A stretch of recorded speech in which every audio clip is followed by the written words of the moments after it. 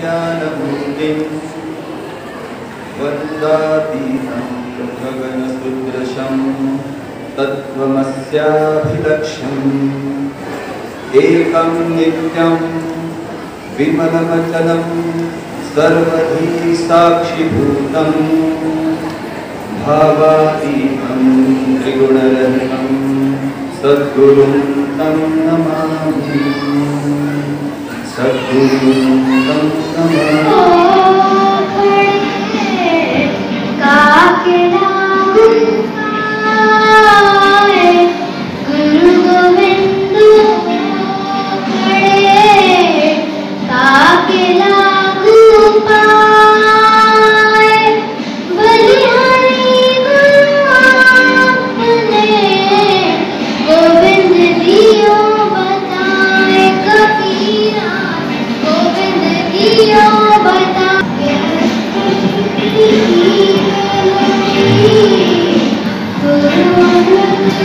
Thank you.